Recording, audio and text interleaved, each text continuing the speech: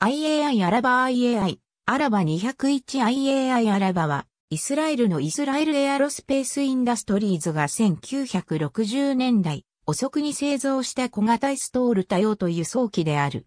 アラバは IAI が設計して量産に入った最初の主要な航空機であり、軍用と民間向け双方の市場を狙っていたが、比較的少数が生産されただけであった。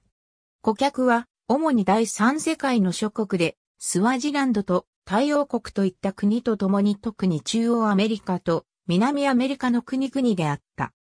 アラバの設計作業は1965年に始まり、その設計の目的には、エストール性能、不正地滑走路からの運用、20名の乗客や、かさばる、積み荷の搭載といったものが含まれていた。これらを実現するために設計は、比較的風変わりなものとなった。貨物扉を開いた状態のアラバアラバの胴体は、尊上の短いが幅の広いもので、胴体後部は蝶つがいにより横開きすることで、荷物の積み下ろしを容易にしていた。翼腹は長く、尾翼はエンジンナセルから伸びる2本のブームに支えられていた。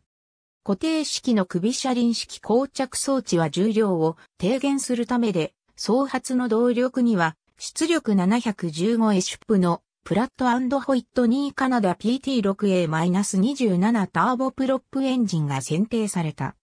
試作初号機は1969年11月27日に初飛行を行い、試作2号機は1970年11月19日の試験飛行中に主翼の支柱がフラッターを起こして接損したために破壊された。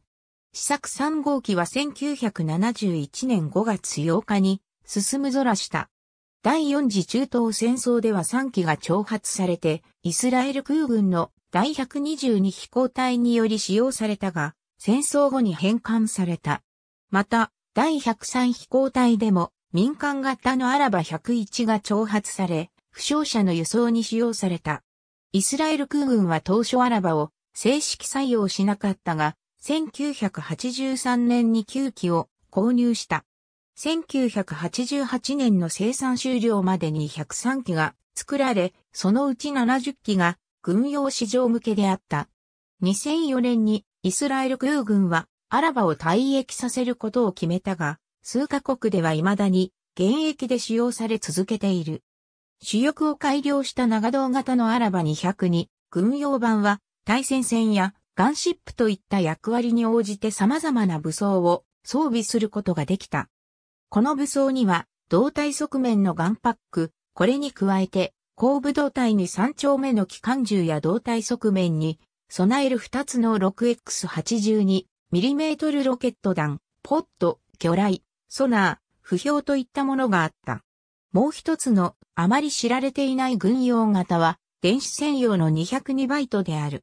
この型は、わずかな数が作られ、主胴体の前部と後部に大型のレドームを備えていることが特徴であった。このレドーム内には電子戦用機器が内蔵されていた。